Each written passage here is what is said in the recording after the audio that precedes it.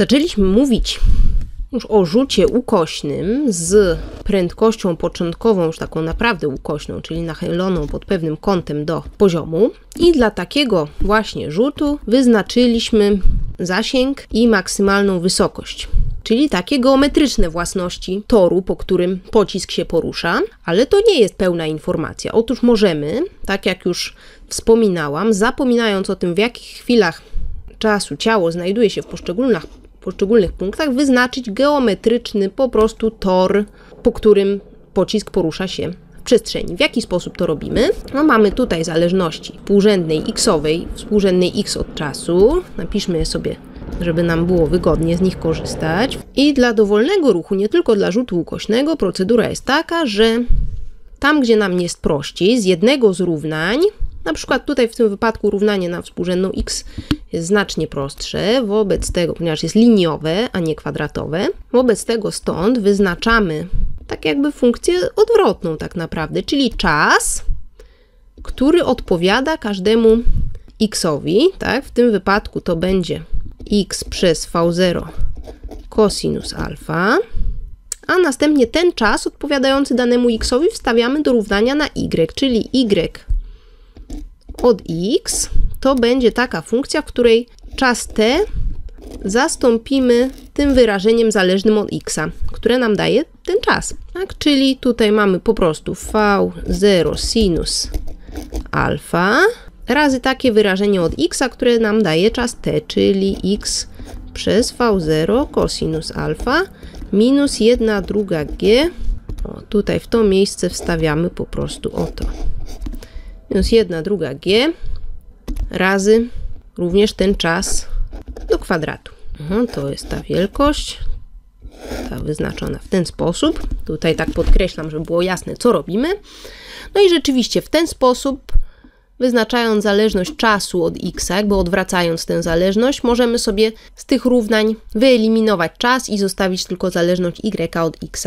I zobaczmy teraz, czy możemy, bo to ten wzór wygląda trochę brzydko. Tutaj są jakieś takie współczynniki, które wcale nie muszą nam się podobać, więc spróbujemy jakoś ten wzór przekształcić, żeby był użyteczny. Mamy y od x, to się równa minus 1 druga g, g v0 kwadrat cosinus kwadrat alfa razy x do kwadratu plus v0 sinus alfa przez v0 cosinus alfa, czyli tangens kąta alfa razy x tak? No nadal ten wzór nie wygląda zbyt zachęcająco. Co prawda widać z matematyki, pamiętamy, że takie funkcje na wykresie zależności y od x wyglądają, są to parabole, tak? Jeśli a jest większa od zera, to ramiona są do góry, jeśli a jest mniejsza od zera, to ramiona są tej paraboli zwrócone do dołu. Więc jakieś tam matematyczne własności takiej krzywej znamy. Na pewno są zastosowania tego równania toru, dla których taka postać tego równania może być przydatna, ale mam dla Ciebie pewien ciekawy, dosyć zaawansowany, ale ciekawy przykład, w którym taka postać jest zupełnie nieużyteczna. Użyteczna, a przy okazji dosyć elegancka jest postać, której mamy wyłącznie te geometryczne parametry, czyli maksymalną wysokość y duże i zasięg d małe i bardzo chcę Ci pokazać, jak to możemy uzyskać. Więc tak, zobaczmy. Wyciągnijmy przed nawias jedną, drugą g v0 kwadrat cosinus kwadrat alfa, to tutaj będziemy mieć x do kwadratu, a tutaj, ponieważ tu mamy plus, a tu minus, to tu też musimy mieć minus, to będzie tangens alfa przez jedną drugą g v0 kwadrat cosinus kwadrat alfa razy x.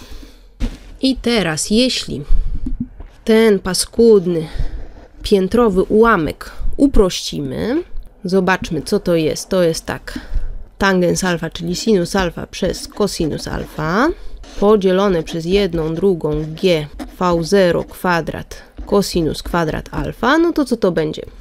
To będzie tak, napiszmy sobie, że to nie było takie piętrowe, sinus alfa, cosinus alfa. I jeśli dzielimy przez ułamek, to to samo jakbyśmy mnożyli razy jego odwrotność, czyli w liczniku piszemy to, co tu jest w mianowniku, a więc 2 razy v0 kwadrat cosinus kwadrat alfa przez g.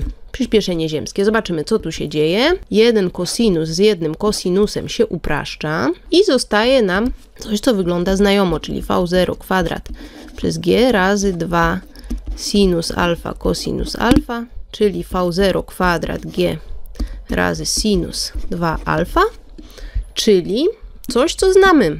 Zasięg lotu, d małe. Mamy powód do radości, ponieważ nasz tor lotu wyznaczony przez równanie y od x zaczyna wyglądać ładnie. Tutaj mamy jedną, drugą g v0 kwadrat cosinus kwadrat alfa. Natomiast tutaj mamy coś bardzo ładnego. Mamy x do kwadratu minus d razy x. To jest oczywiście spójne z tym, o czym mówiliśmy wcześniej. Dwa punkty w przestrzeni, w których współrzędna y wynosi 0, mają współrzędną x równą 0, to jest punkt startu, i współrzędną x równą d, czyli rzeczywiście to równanie musi mieć postać x razy x minus d, tak? Razy tam jakiś jeszcze współczynnik. Teraz rozpracujmy to.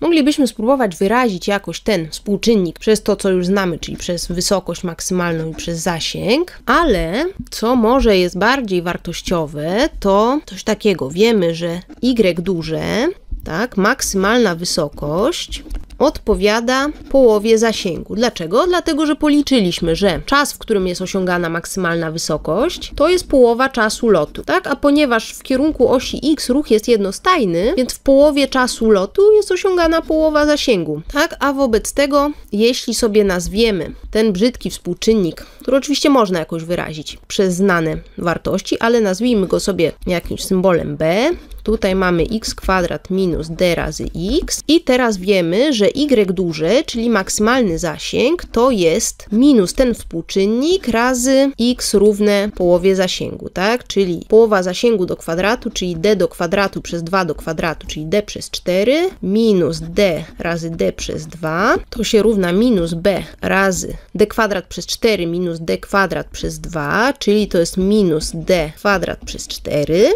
minus z minusem daje plus, mamy y, czyli maksymalna wysokość to się równa temu współczynnikowi b, to, to, jest, to jest dodatnie, to jest minus razy coś dodatniego. Współczynnik b razy d kwadrat przez 4, czyli wniosek z tego jest taki, że ten współczynnik b to się równa y duże przez d kwadrat przez 4, czyli inaczej 4y przez d kwadrat. Bardzo ładnie wyrażony ten współczynnik. Mamy równanie toru y od x wyrażone w ten sposób, że mamy minus przed wszystkim, ponieważ ta parabola, ten tor, po którym się porusza ciało, to jest taka parabola z ramionami zwróconymi zawsze do dołu.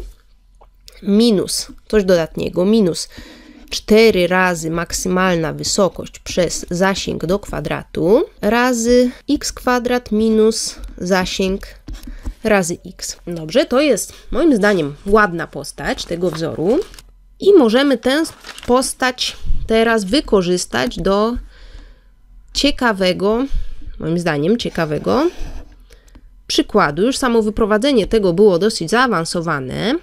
Także przerwijmy ten film w tym momencie, żeby nie był za długi. Co to jest? Jeszcze tak sobie podsumujmy. To jest równanie toru ciała poruszającego się w ziemskim polu grawitacyjnym, ale to równanie toru wyrażamy, wyeliminowaliśmy w zupełności i prędkość początkową i kąt, pod którym wystrzeliliśmy ciało, a jako parametry tego toru mamy jedynie zasięg lotu i maksymalną wysokość. I w kolejnym filmie tak wyrażone równanie toru sobie wykorzystamy. Myślę, że w dosyć ciekawy sposób. Do usłyszenia.